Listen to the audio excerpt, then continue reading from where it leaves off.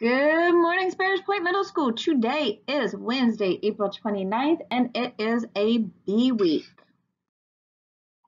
Today's Wednesday, so that means you're going to your fourth and fifth period classes today. Um, if you have specials today, make sure to go to your B day specials. Also, make sure you are doing your work and checking in with your teachers if you have any questions.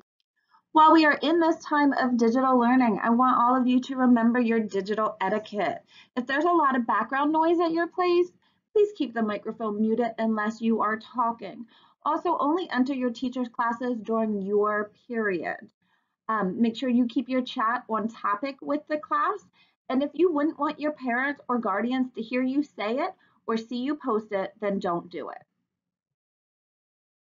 If you are having any technical difficulties or difficulties with your device, please go to bcps1.bcps.org backslash support.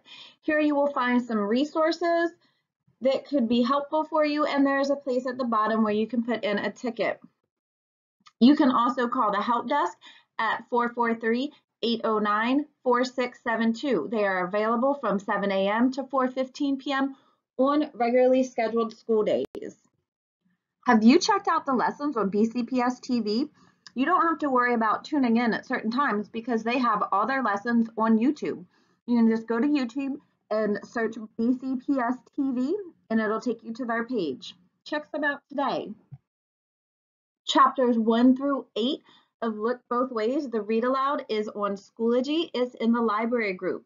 If you're not already a member, you can use the access code 8 T9XB-ZBH3C. There's also lots of other great information on there. Make sure you are going to pick up your meals at Battle Grove Elementary School and Sparrows Point Middle School in the parking lot from 11 a.m. to 1 p.m. Meals are served every day except Friday, every weekday except Friday, but on Thursdays there will be double meals. And for the quote of the day, we must not allow other people's limited perceptions to define us. Virginia Satir. Remember, stay safe, keep learning, and read a good book. Bye.